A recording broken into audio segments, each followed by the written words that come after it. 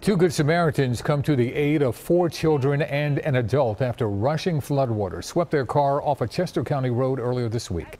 Alexandria Hoff spoke to one of the men who took part in the harrowing rescue. You got it?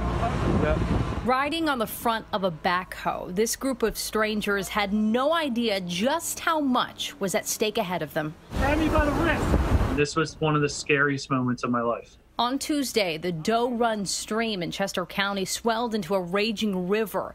Dan DiGregorio stopped on higher ground, as did another man. And we see this car about 300 yards away decide to come towards us, and we're both kind of like, whoa, no, no, no, no, no. The car is swept out of sight. Two more people pull up. No one had cell service to call for help.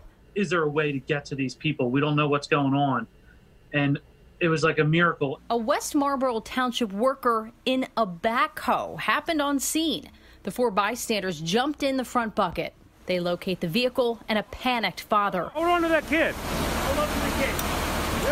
We'll get you. You can see he's about 15 feet from his car and just losing it. The man hands off the young child he's holding to the rescuers. You got him? Yeah. Two other young kids make it to the roof of the car, but a fourth older child slips. Stand up straight. Stand up straight. I can still see the fear of this kid um, looking at me. Forming a human chain, the rescuers pull the boy into the bucket. Hold on to two of us. From another angle, you can see the other two children passed off the roof. Very good job, guys. The father, too, makes it on board, and the family is ushered to safety. I hope one day I get to re-meet that family and make sure they're okay. A proud ending, thanks to Dan, David, Tom, Walter, and Burnett. We were five random people um, who saw a car get swept away.